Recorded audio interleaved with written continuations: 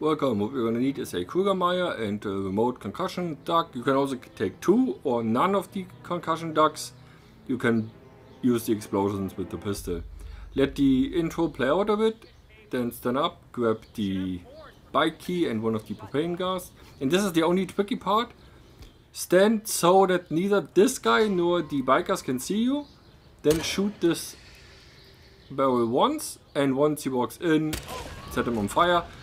Here it can happen that he just aggros and starts shooting you. This happened to me, or that nothing happens. I don't really understand this guy.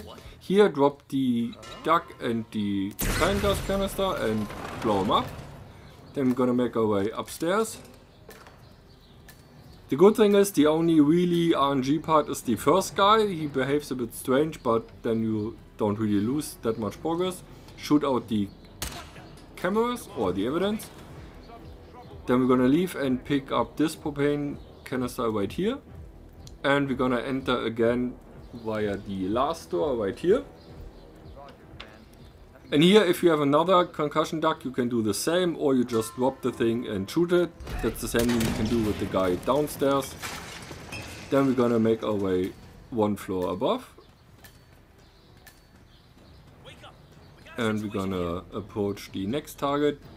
This guy is an enforcer, but it doesn't really matter because you're gonna die anyway, so just run up to him, knock him out. And then throw him over the railing. That's another accident kill. And now we're gonna go back all the way down where we started. We do it this way because after the first death there's a lot of commotion down there and that's why we leave and then return for the last kill.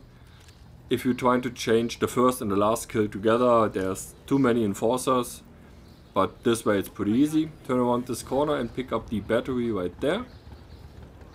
We're gonna go behind here and then we're gonna shoot the blue water canister right there. We're gonna throw the battery over there. And then we're gonna run to the exit bike and we're gonna wait until the last guy dies and then we're gonna leave.